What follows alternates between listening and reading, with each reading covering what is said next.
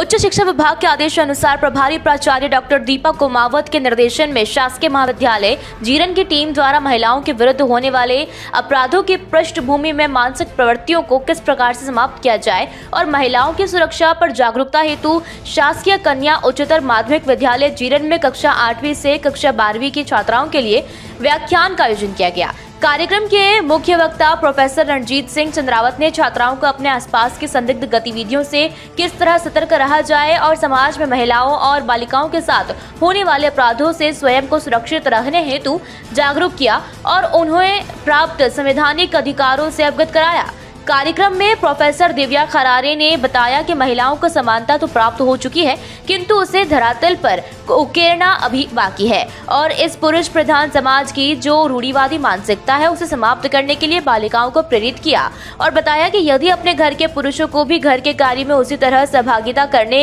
लगे, जिस तरह से एक नारी घर और बाहर के कार्यों में सहयोग करती है तो हमारी माता और बहनें भी अपने कौशल और योग्यता का उपयोग कर समाज के उत्थान में वर्तमान से भी अधिक ऊर्जा से योगदान दे सकेंगी। कार्यक्रम में शासकीय कन्या उच्चतर माध्यमिक विद्यालय के प्राचार्य बी एल जावेरिया और पीटीआई अधिकारी प्रतुपाल सिंह और समस्त स्टाफ मौजूद रहा। Bureau report voice of M P Jiran